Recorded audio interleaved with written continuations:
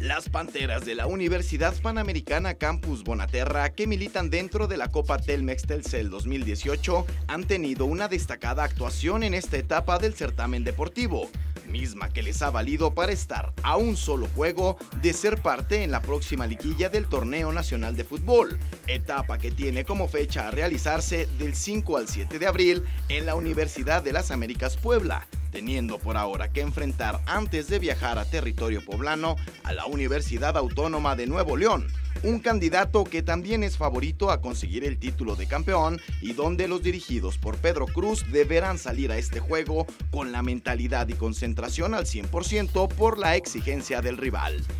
La fecha para este partido es el 16 de marzo a las 2 de la tarde, factor que implica tomar en cuenta las condiciones climáticas y por lo que el trabajo y desgaste físico deberá ser bien administrado por parte de ambas oncenas que buscan dejar en el camino a su rival para formar parte de la zona de liguilla y estar a menos pasos de lograr el objetivo planteado al inicio del torneo.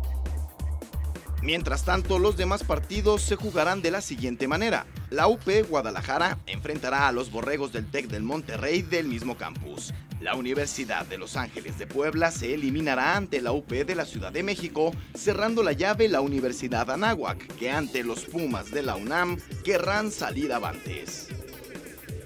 La rivalidad del partido que tienen los hidrocálidos y regiomontanos data desde el 2008, donde a partir de disputar la final de la Universidad Nacional de aquel año, los regios se quedaron en el segundo sitio y los hidrocálidos hicieron brotar este sentimiento especial como campeones, ya que ambas oncenas se han ido eliminando mutuamente en otras participaciones de magna importancia, lo que prepara un partido de agarre y alarido.